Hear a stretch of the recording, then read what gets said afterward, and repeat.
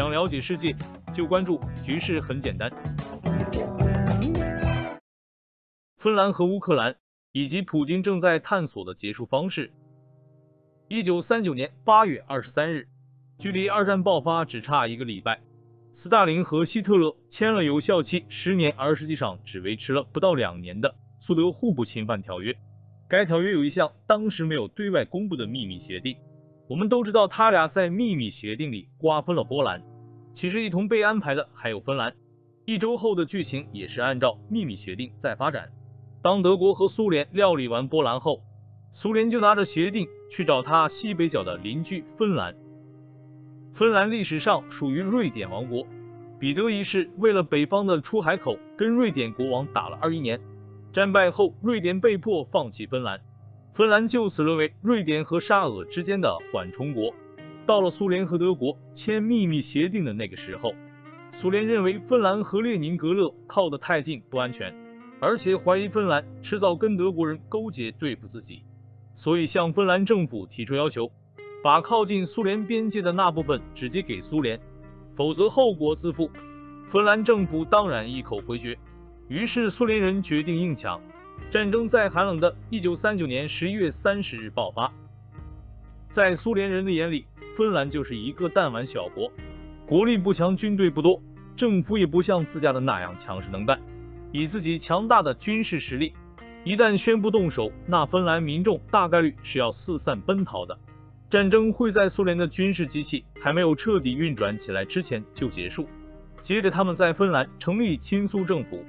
顺利的话，半年内就能把芬兰变成苏联的加盟共和国。乐观自信的情绪上了头，苏联红军迅速向芬兰出兵。然而，芬兰人没有四散溃逃，他们利用地形优势和滑雪技能神出鬼没，给苏联人造成了严重的伤亡。由于军事行动师出无名，苏联在国际上不得人心。两周后，苏联被踢出国联，西方国家还给芬兰出钱出力出人。一个月后，寒冬彻底到来，战场的积雪半米深，苏联军方并没有做好过冬的准备，仗打得特别痛苦，不得不调动庞大的兵力和资源，才得以守住阵线和尊严。熬了三个月后，由于西方各国也要忙自己的二战，无法持续援助芬兰，在弹尽粮绝的情况下，只能和苏联谈判停战。芬兰失去了四万多平方公里领土。苏联可算达到了战争目的。这场持续了三个月的战争，正好发生在北欧最寒冷的冬天，历史上称为冬季战争。对于冬季战争的伤亡，苏联官方的报告说死亡人数是四点八万人，伤亡十五万人。赫鲁晓夫卸任后，在回忆录里提到冬季战争时，说苏联损失了上百万人。真实的数据难以统计，学术界根据各方考证。认为苏联红军的牺牲人数是十七万人，伤亡总数在七十万以上。俄罗斯取得了一场惨胜，在国际上被一度孤立。更郁闷的是，他那样一个体量的军事大国，被他没放在眼里的弹丸小国芬兰给羞辱了。芬兰失去了领土，但是收获了民族荣誉感，通过战争确立了独立国家的地位。当然，从那以后，他跟俄国人的关系就再也没法好了。历史总是惊人的相似，与冬季战争相似的是一个月前爆发，而且还在进行中的俄乌战争。一九九一年圣诞节，苏联解体，俄罗斯和乌克兰各自独立。从那时开始，俄罗斯就一厢情愿的当乌克兰是自己和欧洲的缓冲国，也不管乌克兰愿不愿意。后来随着北约东扩和乌克兰对欧盟的心驰神往，俄罗斯觉得自己的西部越来越不安全。趁着乌克兰内部混乱的时候，拿到了克里米亚，并支持顿巴斯地区武装独立。这种状态维持了八年时间后，在今年的二月二十四日，俄罗斯终于对乌克兰发起了军事行动。跟西欧、北欧国家相比，乌克兰面积巨大，但是和俄罗斯相比，乌克兰也是个小国，国力不强，军队不多，国民东西分裂，总统是个没有经验的演员。政府号召力和控制力很一般，以俄罗斯全球第二的军事实力，一旦宣布战争，那乌克兰军人应该缴械投降，然后倒戈，才符合真实的人性。俄罗斯军队从东南北三个方向迅速突进，再配合特种兵空降基辅，乌克兰民众应该会四散溃逃。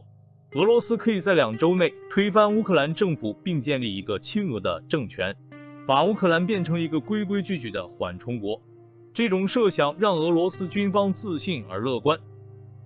然而，战争并没有按照这个设想推进，乌克兰人没有四散溃逃，他们利用地形优势不断狙击对手，给俄罗斯人造成了不小的伤亡。俄罗斯的这次军事行动同样在国际上不得人心，联合国会议屡次批评，西方世界一边倒的支持乌克兰，同时联手制裁俄罗斯。目前，乌克兰公布说，俄罗斯士兵的死亡人数是一点五万人。俄罗斯反驳说自己人死亡一千四百人，外界折中估计的俄军死亡人数是七千人。另外，坦克、飞机、战车的损失也比较严重。要知道，美军在伊拉克和阿富汗的阵亡人数加起来也不到五千人。战场伤亡、补给缺乏和舆论的质疑，让俄罗斯军队士气低落。他们不再积极打劫出战，而是用远程火炮代替进攻。乌克兰海滨城市马里乌波尔几乎被摧毁，但是依然没能完整占领。为了维持这场战斗，俄罗斯都开始将驻扎在远东和格鲁吉亚的士兵调往乌克兰。战场之外，俄罗斯依然要承受孤立和制裁，难以达成一致的谈判似乎不可靠。普京需要找个体面的方法结束这一切。三月二十五日，俄罗斯国防部宣称，第一阶段的主要任务已经总体完成。俄军接下来会集中力量解放顿巴斯地区，这是一项奇怪的战略转变。俄罗斯第一阶段的主要任务真的完成了吗？刚开战的时候，俄方的目标是乌克兰去军事化，他的出兵路线和各种对外言论都在暗示他要推翻乌克兰政府并建立亲俄政权。如今乌克兰士兵还在抵抗，甚至开始反攻。泽连斯基发挥特长，在美国国会、日本国会。以色列国会甚至欧盟峰会和北约峰会像个网红一样拉赞助，俄罗斯却说第一阶段的主要任务已经完成。相对于刚开始的高歌猛进，俄罗斯现在比较尴尬。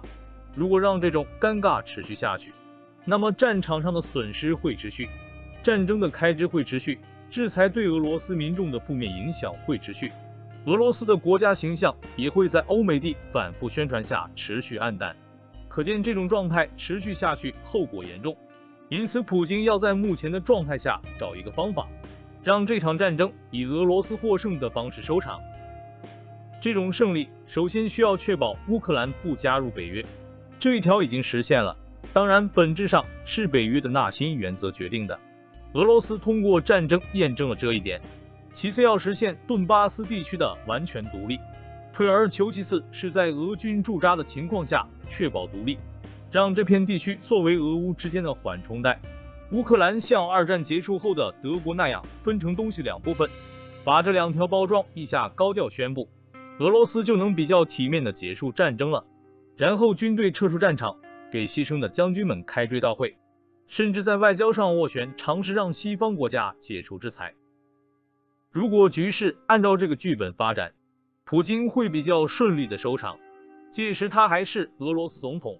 如果局势偏离了这个剧本，那么后果谁也难以预料。麻烦事会一直困扰普京，让待在克里姆林宫深处的他内心烦躁。乌克兰的民族历史是长期被欧洲和俄罗斯互相争夺和殖民的历史，历代沙皇从立陶宛公国。波兰王国哥萨克人手里夺取了大约百分之八十的乌克兰领土。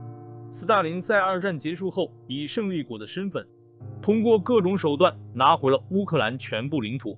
乌克兰第一次以国家身份出现在世界政治舞台上，就是一九九一年苏联解体的时候。但那一次是和平独立，乌克兰没有经历过一场真正意义上的民族独立战争，这是他们的幸运，也是他们的不幸。历史告诉我们，通过战争确立的国家地位才是最牢固的。在乌克兰人心里，本次俄乌战争或许就是他们的独立战争。在八十三年前的冬季战争中，芬兰败给了苏联，并失去了部分国土，但是芬兰赢得了民族自豪感，国家身份彻底确立。外表强大的苏联军队被他们在战场上羞辱。在本次俄乌战争中。乌克兰大概也会失去国土。但他们像芬兰那样，也在战场上羞辱了全球第二强的俄罗斯军队，赢得了民族自豪感。经过这场战争，乌克兰人或许再也不会惧怕俄罗斯了。普京可以通过巧妙的手段，以某种胜利来结束这场战争，但是他解决不了的问题是，乌克兰以后会像芬兰或波兰那样长期仇视俄罗斯，甚至整个欧洲以后也会更加敌视俄罗斯，俄罗斯也将一定程度失去欧盟这个最大的能源客户。如果顿巴斯彻底独立，甚至某一天像克里米亚那样并入俄罗斯，那么俄乌两国永远不会和解。乌克兰会因为这场战争和欧盟或北约走得更近。俄罗斯为了西部的安全发起了这场战争，但是战争之后它会更安全吗？好了，我们今天就聊到这。欢迎任何针对本期内容的评论和分享，关注局势君，让我们持续进步。